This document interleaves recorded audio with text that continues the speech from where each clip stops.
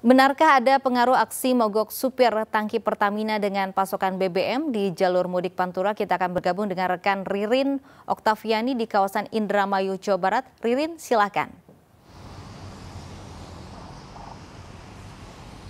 Lovi, empat hari jelang lebaran arus lalu lintas di jalur Pantura Indramayu mulai mengalami peningkatan. Kendaraan yang melintas didominasi oleh kendaraan roda 2 atau sepeda motor.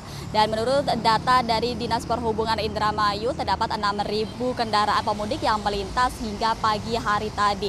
Menurut data dari Dinas Perhubungan sendiri memprediksi puncak arus mudik di jalur Pantura Indramayu yang menghubungkan antara Jakarta menuju ke arah Jawa Tengah maupun Jawa Timur ini akan terjadi esok hari.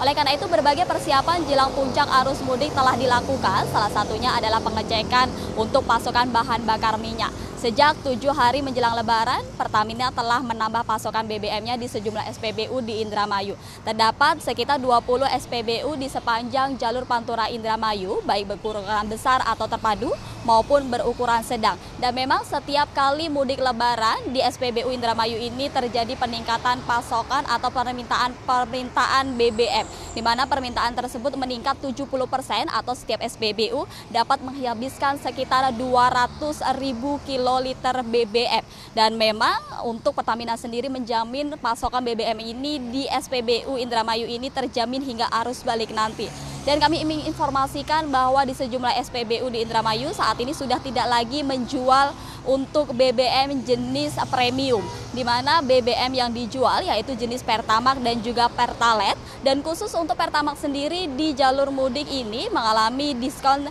dengan harga 8.000 per liternya.